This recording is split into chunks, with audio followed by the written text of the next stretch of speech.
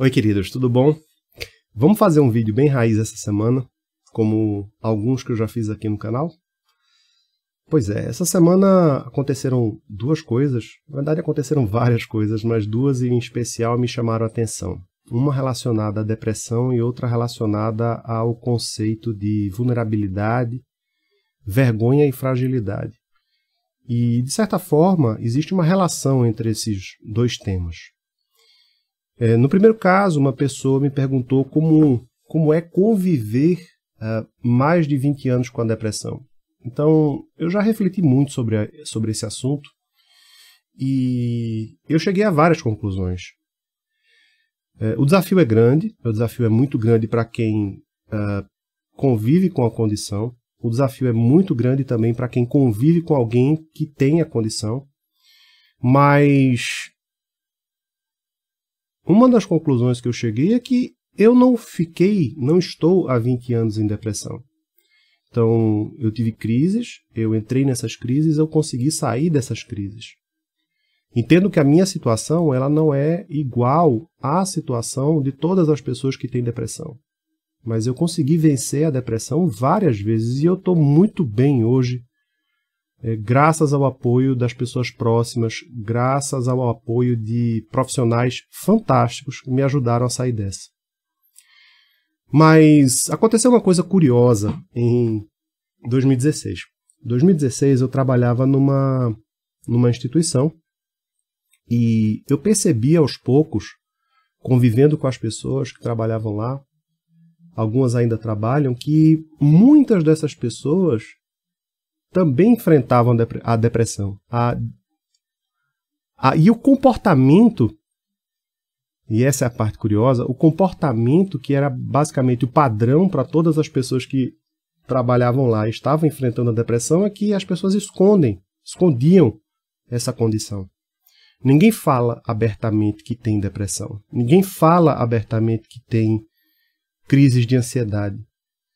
E foi assustador para mim perceber que tanta gente enfrentava a depressão também, crises de ansiedade e coisas afins, inclusive muitas delas fazendo terapia, tomando medicação, mas enfim, uma verdadeira epidemia de, de questões relacionadas à saúde mental. Isso foi em 2016. Então, é, eu posso dizer aqui para vocês hoje que essa certamente foi esse certamente foi o maior motivador para que eu tenha escrito um livro.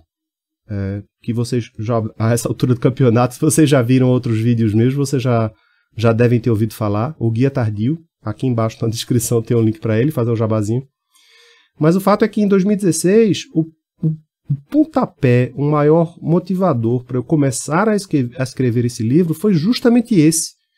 Perceber que tantas pessoas enfrentam crises de depressão, situa uma situação de depressão, questões de saúde mental, ansiedade e não falam, gente. Não procuram ajuda, guardam isso para si. Por quê? Porque a gente vive numa sociedade onde você falar que tem depressão, que você tem uma condição uh, de saúde mental, ansiedade e depressão, seja leve, moderada ou severa, apesar de que severa já, já não dá tanto para esconder, mas o fato é que as pessoas não abrem isso porque isso está muito, está totalmente associado com fragilidade, com incapacidade e com fracasso. Existe uma associação íntima que as pessoas fazem entre ter depressão e ser um fracasso. Eu posso dizer a vocês olhando para vocês agora que isso não é verdade, gente. É possível conviver com a depressão, é possível ficar bom da depressão e é possível ter uma vida normal na maioria dos casos. Então, uh, talvez ao escrever o livro eu tenha feito basicamente o que uma autora muito famosa coloca em seus livros também, o nome dela é Brené Brown, que é a gente reconhecer quais são as nossas vulnerabilidades e, na verdade, abraçá-las, não escondê-las. Então, o que eu acho que aconteceu quando eu comecei a escrever o livro foi exatamente isso. Eu parei de esconder isso de mim, do mundo. E foi mais ou menos na mesma época que eu comecei a escrever publicamente sobre isso e falar para as pessoas da minha condição e tentar ajudar as pessoas com a minha experiência. Eu não sou, eu não sou médico, eu não sou psicólogo, não sou psiquiatra, mas eu posso falar da minha posição de pessoa que tem essa condição há 20 anos. Então, é, eu acho que é muito importante que as pessoas tenham essas conversas. Que as pessoas que têm depressão procurem ajuda e que as pessoas que convivem com quem tem depressão também procurem ajuda. Porque é uma situação complexa, é, uma, é um desafio grande, mas esconder a vulnerabilidade, esconder isso do mundo, não ajuda. Pelo contrário, atrapalha. Então, a, a segunda coisa que aconteceu na minha semana relacionada a essa questão de vulnerabilidade foi justamente uma pessoa que me perguntou: Poxa, Romulo, você parece ser uma pessoa tão forte.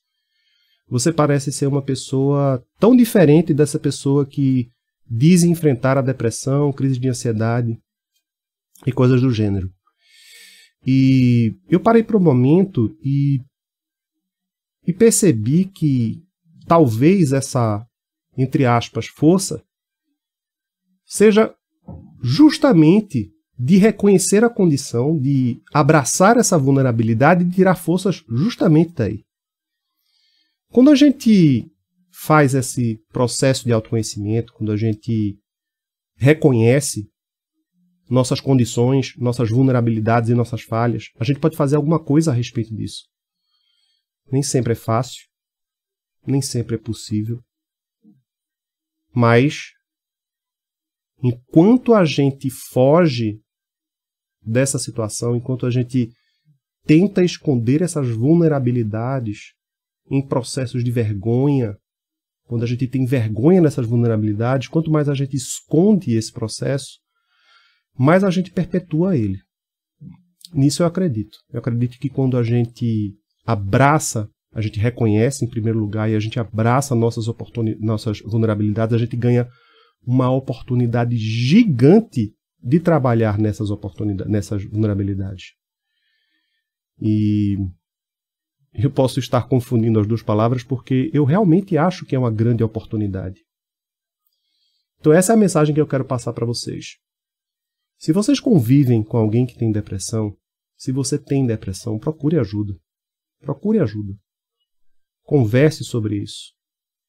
E use isso como uma oportunidade para aprender com a condição e aprender a lidar com a condição. E, gente, eu faço terapia e, e acho fundamental um processo de terapia com um profissional qualificado, com um psicólogo, com um psiquiatra que tenha a capacidade de avaliar a sua situação, a sua condição de forma profissional. Acho importante esse acompanhamento. Muitas pessoas sentem que é, o desafio é grande, de se abrir para um profissional, mas vale a pena, gente. Necessita de algum ajuste? Sim. Às vezes, nem sempre a gente vai para um profissional e há um nível de rapport, há um nível de relacionamento uh, suficiente para que um processo terapêutico seja estabelecido. Mas insista, insista que vale muito a pena. Então, hoje eu posso colocar isso para vocês de forma clara. Em muitos casos, a gente consegue sim vencer a depressão e vencer a ansiedade.